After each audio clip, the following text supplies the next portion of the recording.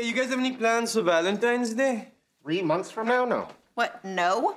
I mean, secret romantic plans that would be ruined if I told you. Oh. What's going on, Raj? Well, how would you guys feel about going to India for my wedding? Oh, that's so exciting.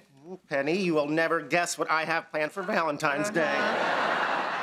Can I feed peanuts to the elephants at your wedding? That is such a stereotype. There won't be any elephants? Of course, there'll be elephants. It's a stereotype that you feed them peanuts. Are you really gonna plan a wedding in three months? Yeah, well, her family's doing most of the work. They're amazing. We talk all the time. Why?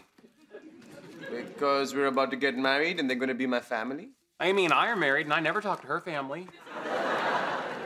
Really, my parents love Leonard. Yeah, my mom loves Penny, which is weird because I never knew she could love. And my dad has grown to really like Howard. Yeah, there's a nice coolness between us.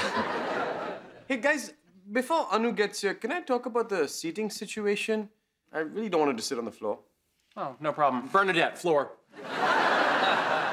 yeah, you can't make my wife sit on the floor. Fine. Howard, floor. It's fine, I'll sit on the floor. Thank you, Penny. And Leonard, I was kind of hoping I could sit next to Anu. So now I have to sit on the floor? It's my house. Why can't Sheldon sit on the floor? That might be the dumbest thing you have ever said.